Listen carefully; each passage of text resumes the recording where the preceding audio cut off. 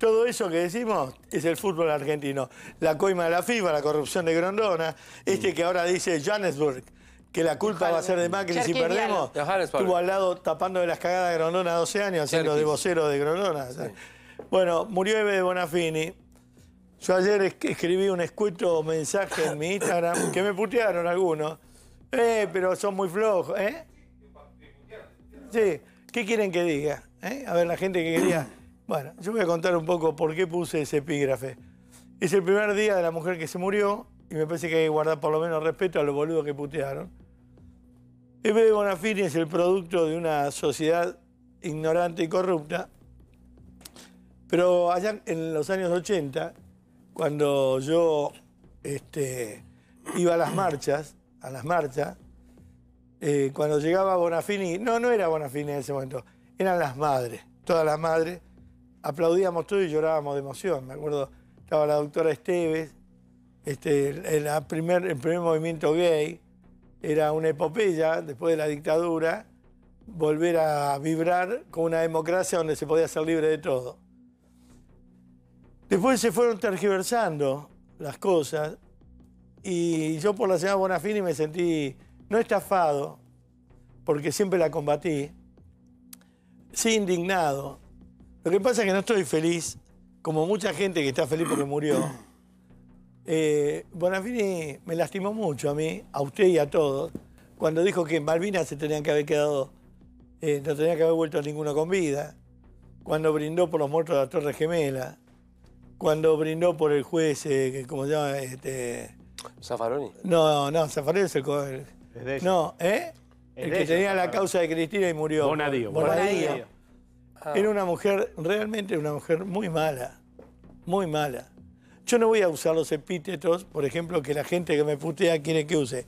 Una vieja hija de puta, una mujer de mierda, un sorete como persona, una ladrona, una estafadora.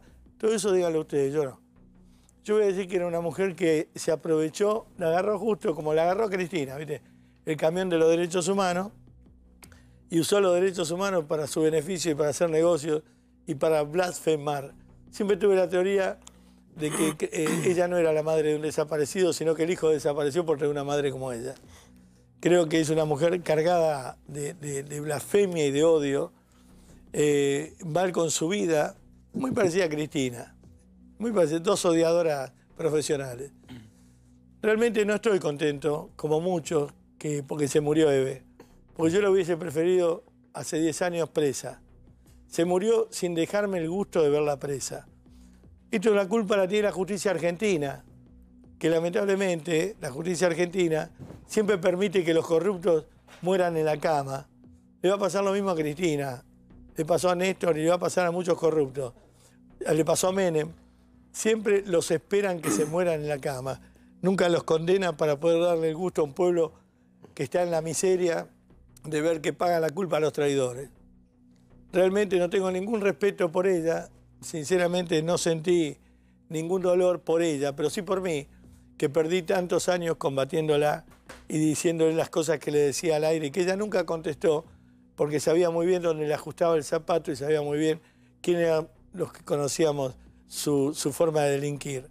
Por supuesto que ahora la cámpora va a usar esto para hacer un acto, porque la cámpora está en decadencia total, y tratar de darle a los giles pan y circo el jueves en memoria de esta señora. Entre paréntesis, está prohibido tirar las cenizas en lugares públicos. O sea que hasta el último momento de su vida va a cometer otro delito. Y la verdad que tampoco tiene sentido que la tiren en la plaza, ¿no? Pero bueno, porque la plaza no es de ella, es de las madres. Pero realmente una mujer que desvirtuó la queja, la búsqueda, para empezar a mezclarse con delincuentes y sinvergüenzas como los Jocklender, que dicho sea de paso, como esta gente son todos mentirosos y embusteros, yo tengo la teoría de que los Jocklender no eran abusados por los padres y por eso los mataron. Creo que mataron a los padres para quedarse con la fortuna de los viejos y después vendieron la historia cambiada.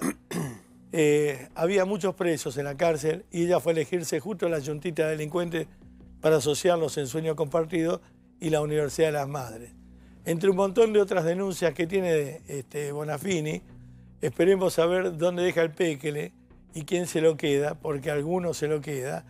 Y si es verdad la versión que los hijos andan por Francia, dando vueltas por España y que en algún momento van a tener que aparecer. Bueno, para toda la gente esta que sigue a Bonafini, León Gieco, Víctor Heredia, Pablo Echarri, a los que le gusta todo este relato pelotudo, Bonafini echada de España por este, apoyar a Leta, pero encima en un momento que Leta entraba en la democracia, ella pedía la revolución. Una mujer que donde iba dejaba la bolsa de pus y de odio. Ayer tocó Serrat. Y lo mínimo que yo esperaba que cuando terminó el recital diga, bueno, le dedico a Eve. Serrat se cayó la boca. Porque también se habrá sentido defraudado por esta mujer tan mala, tan dañina, tan terrible. Cuando yo puse en la nota ayer, termina diciendo que cuando, cuando muere el enemigo o el adversario, uno siente que se muere un poco. Y a mí se me murieron 20 años de lucha contra esta mujer nefasta, 20 años de salir en televisión a decir tengan cuidado con esta mujer que es corrupta, cuando todos estos pelotudos que ayer por internet me putearon no se atrevían a decir un carajo, porque además de todo son cobardes y esperan que el toro esté muerto para cortarle las orejas. Porque cuando se enteraron que no respiraba más, salieron a putearla.